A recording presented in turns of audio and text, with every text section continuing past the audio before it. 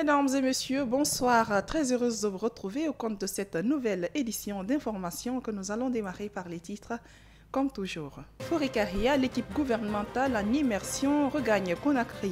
Présidentielle au Sénégal, Yomai Faye en tête des premiers résultats. À l'international en Russie, trois suspects plaident coupables pour l'attentat de Moscou. Voilà, mesdames et messieurs, c'était les titres. Les détails, c'est dans un instant.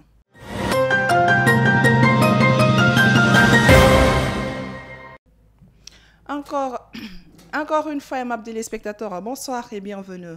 Je vous l'annoncer dans les titres. Dans la poursuite de l'immersion gouvernementale dans l'arrière-pays entamée le samedi 23 mars, l'équipe conduite par le Premier ministre chef du gouvernement, Amadou Ouriba, avec à ses côtés les ministres secrétaires général et directeurs de cabinet de la présidence, respectivement le général Amara Kamara et Guiba Diakité, a effectué ce dimanche 24 mars 2024 une seconde série d'activités s'inscrivant toujours dans la culture de l'esprit d'équipe, du don de soi, de la résilience, mais également pour briser les barrières favorisant la solidarité dans le travail. Suivez.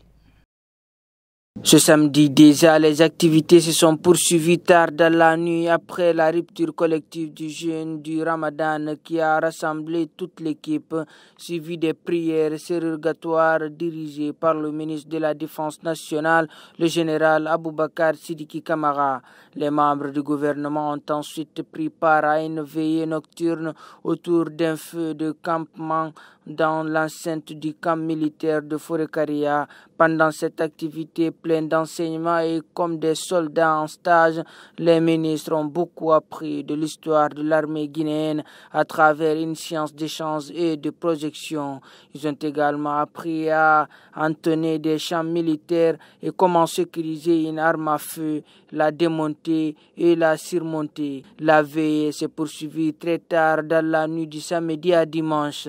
Au petit matin de ce dimanche 24 mars 2024, c'est autour du rassemblement sous la place d'armes du camp militaire de Forekaria que le chef d'état-major général des armées, le général de division Ibrahim Sori Bangoura et son adjoint ainsi que des membres du CNRD ont rejoint l'équipe de l'immersion. Après l'exécution du salut militaire, c'est avec la haute hiérarchie des forces de défense et de sécurité et les membres du gouvernement ont effectué l'ère traditionnelle marche de réveil militaire afin de mieux entamer la journée à la fin du parcours de 5 km. Ils ont eu droit à une nouvelle science avec les moniteurs sur le fonctionnement d'une arme de pointe et d'une arme d'assaut, à l'occurrence le PMAK, AK-47 et le pistolet automatique.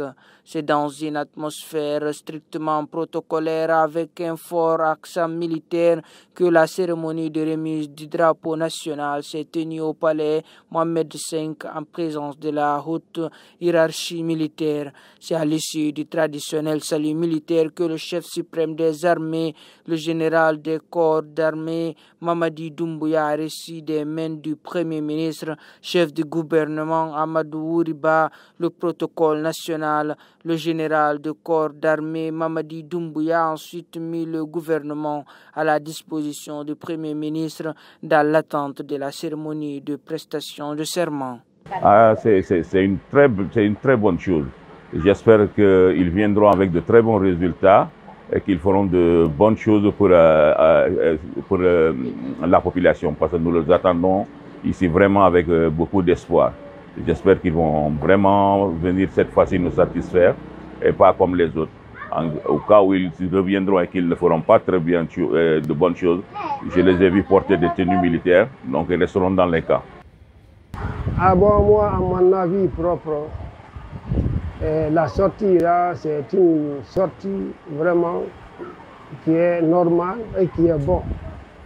Parce que cette sortie a fait que ces ministres-là sortent pour se réunir, euh, dire un sujet à quoi prendre et appliquer pour la nation. Donc, euh, euh, c'est une décision qui a été prise non seulement par le président, mais ensuite par tous ces membres de ce gouvernement. Donc, c'est une bonne chose. Dans ce mois béni du Ramadan, les musulmans sont appelés à adopter un comportement exemplaire, empreint de piété, de compassion et de générosité. C'est un moment sacré où les fidèles renforcent leur foi et leur lien avec Allah à travers le jeûne. La prière et les actes de bienfaisance à ces citoyens nous en disent plus. Suivez.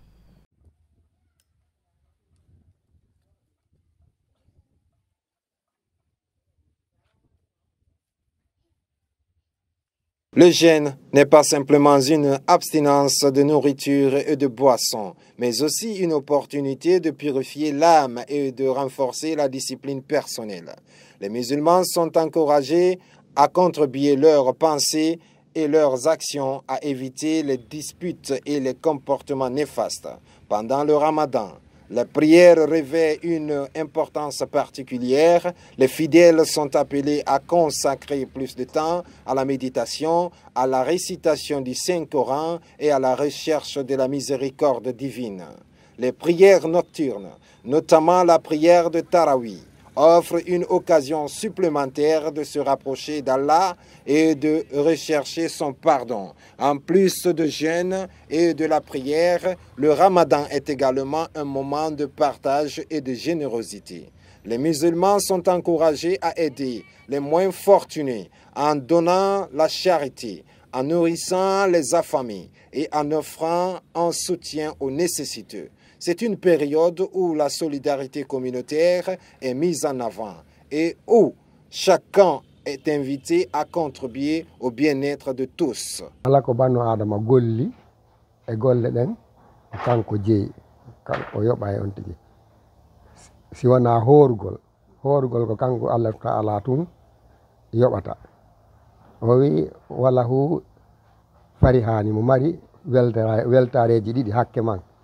si aden hoori gila bimbi ha hewti ka sunna e huntagol. O weltoto ɗo moƴƴa ka hara himo welti o weltoto. Awa ñande o hawroy kadi el subhanahu taala o weltoto noon weltare ɗimmere nden. Aray kadi e horugol ngol wona horugol ngol tun. Ko margol ngol ko hoori kon woni tigi on. Ɓa nulaɗo sallallah sallam maki a sayyatu yakul hasanatu kama takul narul yabisul hatabu piiji ɗiɗi no jokkodiri golle moƴƴe e golle bonɗe no jokkodiri golle moƴƴe ñaama e golle bonɗe wano yiite ñaamirta leɗɗe yorɗe. Golle moƴƴe bonɗe kadi ñaamira e noon golle moƴƴe ɗen. Si aaden hoori ko yo wakkilo o mara hara o accaali o waɗa ko bonnata. So on tigi hoori haa suuma e maayi woɓɓen no e ko hoori kon fof no bona ñannde julde ɓe waɗa nden ñannde ko waɗataake. Wano yaagol ka yaataake.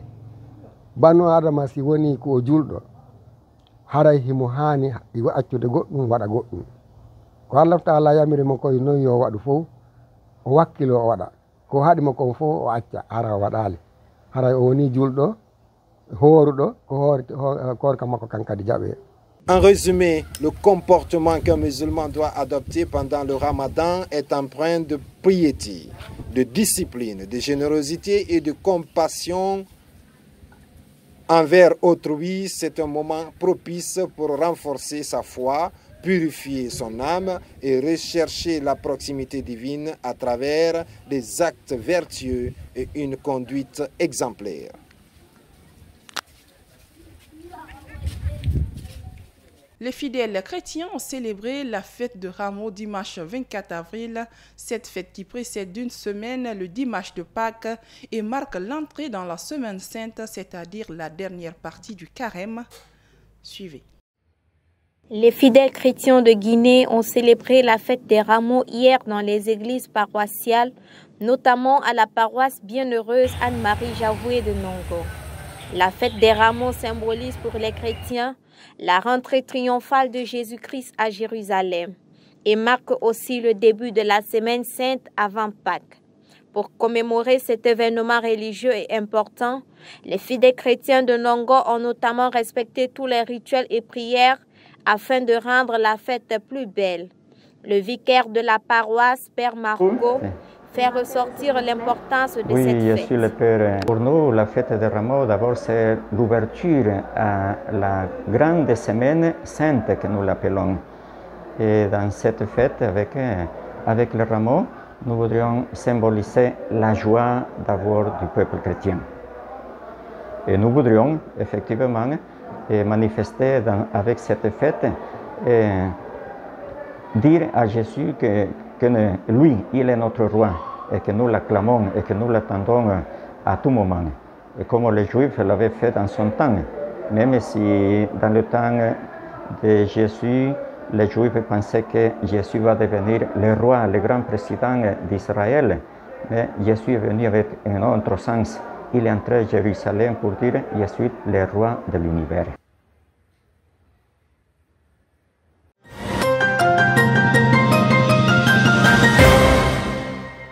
L'annonce également dans les titres. Un peu plus de 7 millions d'électeurs étaient appelés aux urnes ce dimanche 24 mars 2024 au Sénégal pour choisir leur prochain président. Les bureaux de vote ont fermé à 18h, place au dépouillement. Selon les premières tendances, Bassirou Diomaye Faye, le candidat du PASTEF, creuse un large écart. Des chiffres non officiels lui créditent de plus de 55% des voix. Il est suivi du candidat de la coalition au pouvoir, l'ancien Premier ministre Amadouba. Suivi. Les partisans de Bassirou Diomaye Faye ont jubilé toute la nuit à l'annonce des premiers résultats du scrutin présidentiel de dimanche au Sénégal. Dimanche soir, c'est une foule en liesse qui a pris d'assaut le siège de la coalition Diomaye président pour manifester sa joie avant même la proclamation officielle des résultats. Je vois que le Sénégal est encore un pays démocratique, un pays de droit. Et ce soir, ce n'est pas Diomaye qui a gagné, mais c'est tout le pays. C'est notre victoire, c'est votre victoire. Souniou victoire. Énormément de plaisir, de satisfaction, euh, mais aussi euh, de reconnaissance vis-à-vis du peuple sénégalais. Ah, nous sommes satisfaits du travail abattu par toute la coalition Diomaye Président. Cette victoire, c'est la victoire du peuple sénégalais. Vraiment, le peuple a décidé aujourd'hui Ils sont très loin d'imaginer un second tour à ces élections. Ils ont fait la fête jusqu'au bout de la nuit. Les premières tendances ont suffi à ces partisans de Bassirou Diomaye pour célébrer la victoire de l'opposant sénégalais à la présidentielle de dimanche.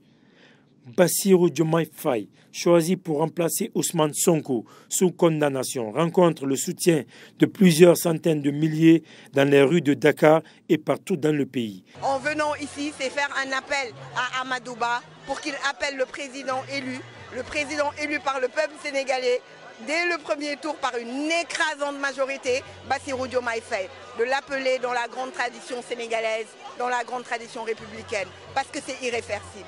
Bassirou Diomaye Faye est élu président de la République. Plusieurs autres candidats ont d'ailleurs déjà félicité l'opposant, mais pas encore celui du pouvoir Amadouba, dont les partisans agitent déjà l'hypothèse d'un second tour, ce que refusent d'entendre les soutiens de Bassirou Diomaye Faye. Au Tchad, dix candidats retenus pour la présidentielle, le Conseil constitutionnel tchadien a rendu son verdict dimanche concernant le dossier déposé par les candidats pour la présidentielle du 6 mai. Suivez. Mohamed Déby Itno, le président de la transition au Tchad et son premier ministre Success Mastra vont s'affronter lors de la présidentielle du 6 mai. Leur dossier ainsi que ceux de huit autres candidats ont été retenus par le Conseil constitutionnel tchadien. L'ancien Premier ministre Albert Pahimi Padake figure aussi parmi les prétendants, alors que dix autres ont été rejetés pour défaut des pièces d'identité civile pour la plupart, le scrutin de 6 mai est déjà contesté par la société civile, notamment l'organisation Wakit Tama qui pense que les dés sont pipés d'avance et appelle au boycott.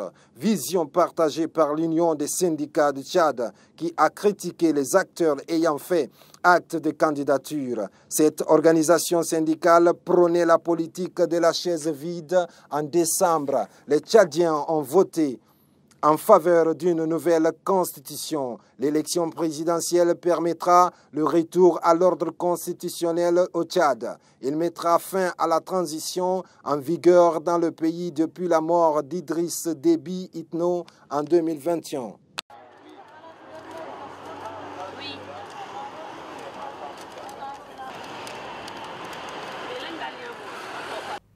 Au Malawi, la sécheresse décime les récoltes, l'état de catastrophe déclaré.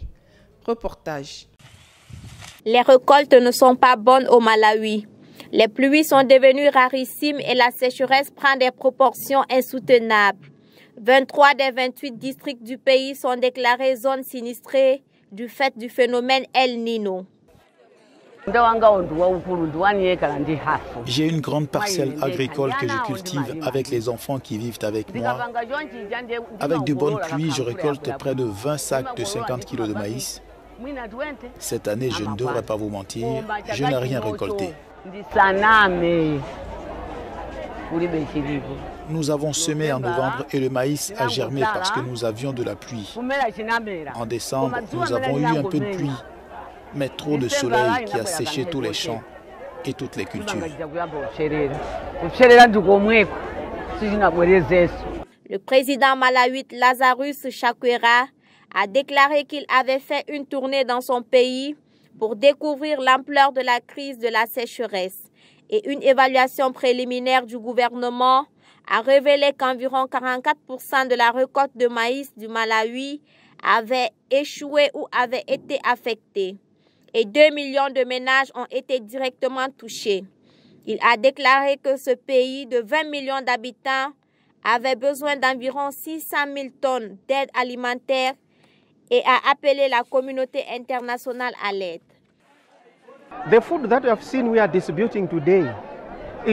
La nourriture que nous distribuons aujourd'hui est celle de la saison que nous traversons. Mais il y a une famine supplémentaire à affronter du fait de la sécheresse que nous avons connue. Pour Neno, ça a été très dur. Donc la déclaration du président signifie que d'autres personnes vont arriver là où il ne l'auraient pas fait nécessairement. Les gens vont venir à cause de cette déclaration.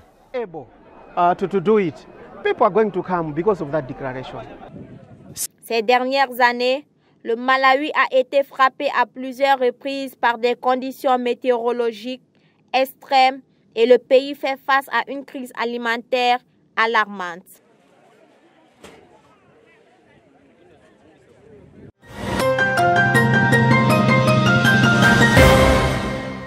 Je vous l'annoncer dans les titres. Quatre suspects ont été appréhendés pour l'attentat à la bombe qui a tué plus de 130 personnes à Moscou la semaine dernière.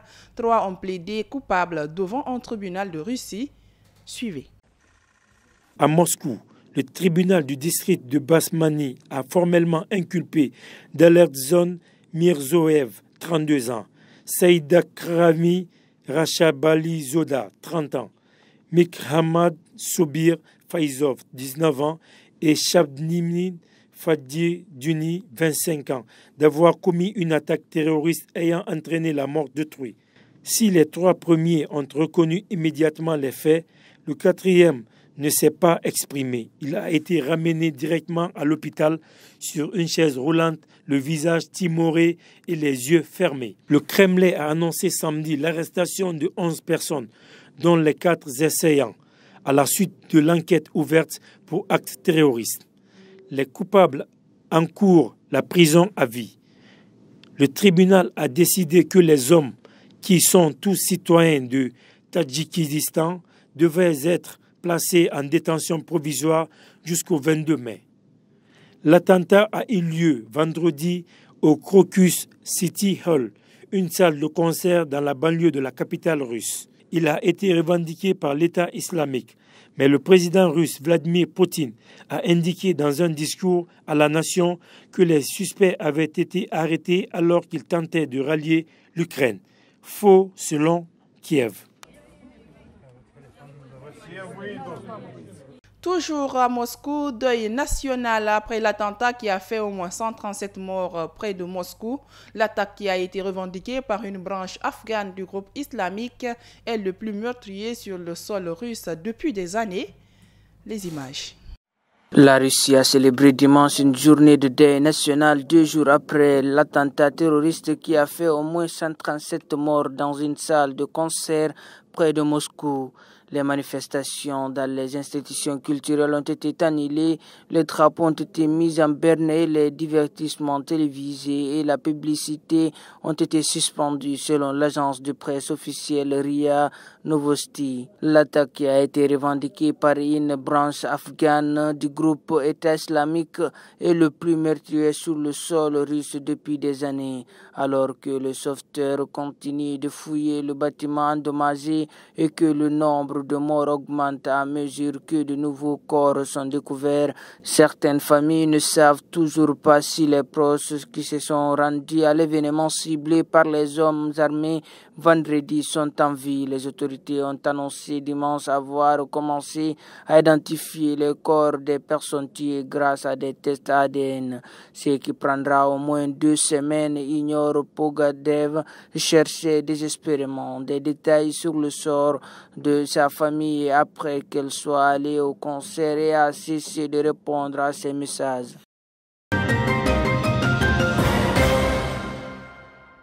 Mesdames et messieurs, c'est la fin de cette édition. Merci de l'avoir suivi et bonne suite de programme sur IBM Soul TV.